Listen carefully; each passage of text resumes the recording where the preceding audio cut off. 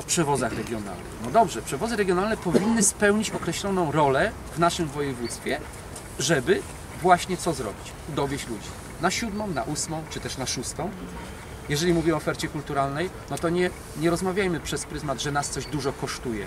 Teatr, filharmonia czy domy kultury w poszczególnych miastach, tylko się zastanówmy, jak dotrzeć z tą kulturą, ja to mówię, na peryferię naszego regionu, no bo to jest właśnie bardzo istotne, jak, e, jak osoby, które mieszkają w tym regionie, mają trudny dostęp, powinny z tych dóbr naszych ogólnowojewódzkich, czy też miejskich brzegów skorzystać.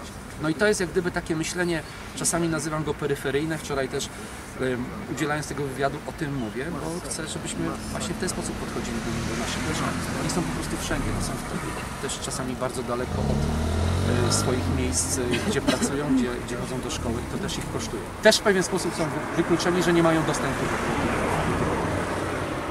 No to tyle, jeśli y, z mojej strony. Cieszę się, że, że w tym programie są rzeczy i ogólne, pokazujące pewien, pewien sposób myślenia, ale również jak dla mieszkańców brzegu, szczególnie y, bardzo konkretne, skupione wokół miejsc, szkół, ulic, rynku. No to jest bardzo ważne, bo, bo każdy wyborca powinien siebie w tym programie wyborczym odnaleźć. Odnaleźć poprzez to, co jest dla niego ważne.